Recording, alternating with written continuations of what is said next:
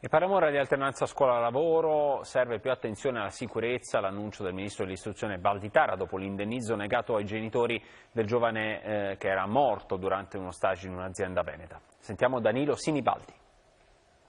Cambiamenti in vista per l'alternanza scuola-lavoro. L'intenzione di modificare le norme che coinvolgono studenti e aziende è stata annunciata dal ministro dell'istruzione Giuseppe Valditara a seguito della vicenda che ha visto sfortunato protagonista Giuliano De Seta, il diciottenne morto lo scorso settembre mentre svolgeva uno stage in un'azienda di Noventa di Piave. Per quel lutto i genitori non riceveranno nessun risarcimento. L'INAIL infatti ha negato l'indennizzo perché il giovane non era capofamiglia, così come prevedono le norme in vigore. Una decisione che ha indignato l'opinione pubblica e squarciato il velo delle mancate garanzie sulla sicurezza dei ragazzi, spesso, secondo le denunce delle associazioni sindacali e studentesche, trattati alla stregua di dipendenti e non di apprendisti.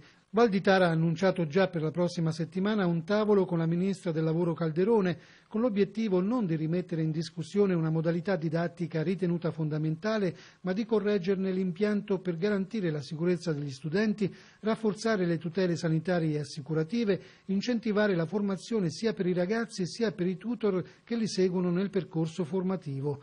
Contemporaneamente vanno previsti incentivi per aumentare la platea delle aziende disposte a ospitare gli studenti, imprese con alti requisiti in termini di sicurezza e condizioni lavorative.